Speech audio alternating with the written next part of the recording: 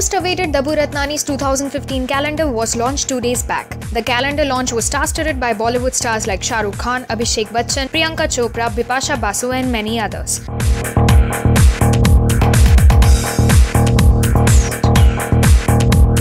The popular Bollywood photographer Dabboo Ratnani revealed behind the scenes videos to launch his calendar. The biggest stars of Bollywood share their best experience of shooting with Dabboo Ratnani for the calendar launch. Seems like Shah Rukh Khan had best time shooting for the 2015 Happy New Year calendar. The King Khan also speaks about his six-pack abs in his movie Happy New Year. SRK confessed that after flaunting his abs in 2014 movies, he is planning to go naked on screen. The next moment, after a small pause, he laughs and says, I'm joking. Should we believe his words?